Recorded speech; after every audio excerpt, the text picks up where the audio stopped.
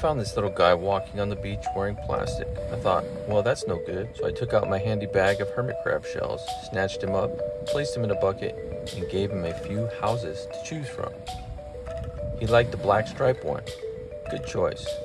Slide that slimy abdomen out and into your new home. Much better. A lot of people don't realize that they are taking a potential home of a hermit crab when they pick up an empty shell off the shoreline. Now I go to the beach pretty much daily searching for these hermit crabs. It's a huge problem over here in Okinawa, Japan.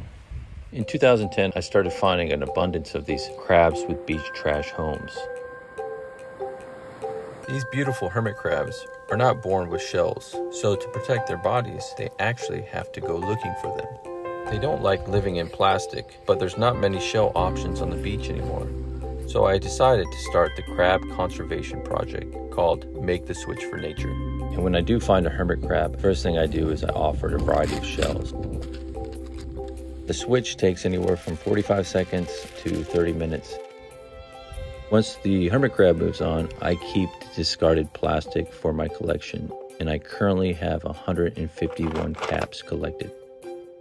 I use donated tapestry turbans from organizations and just kind people that want to support the project. What I usually do is I will carve a tracking number and a positive message on the backside of one of the shells. My hope is that the messages can brighten someone's day. They can also learn about the situation and stop collecting shells from the beaches. As these hermit crabs grow, they have to find bigger and bigger shells to fit into. With the help of the community, we have placed over 5,000 shells in the coastal forest.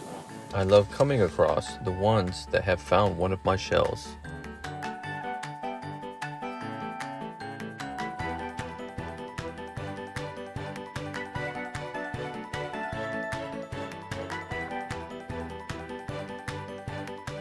Hermit crabs are so important for the ecosystem. We gotta start protecting them for future generations. And one thing they could do is participating in a beach cleanup and also return any unwanted shells back to the coastal forest for the animals in need.